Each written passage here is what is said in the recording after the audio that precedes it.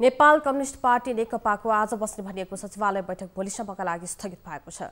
बैठक अघि अध्यक्षद्वय केपी शर्मा ओली र पुष्पकमल दाहाल बीच भएको छलफलमा विवादित विषयमा सहमति जुट्न नसकेपछि आज बैठक नबस्ने भएको हो।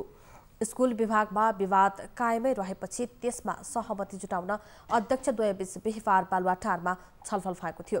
स्कुल विभागमा सचिवालय सदस्य नारायण काजी श्रेष्ठ र स्वरचन्द्र पोखरेलको दावी कायम रहेपछि अध्यक्षद्वय सहमति जुटाउन छलफलमा जुटेका थिए। तर पछिल्लो समय अध्यक्ष द्वयबीचमै विवाद भएको छ। त्यस्तै जनवर्गीय संगठनको नेतृत्वबारे पूर्व एमालेमा विवाद देखिएपछि आज बस्ने भनिएको सचिवालय बैठक स्थगित भएको बताइएको छ।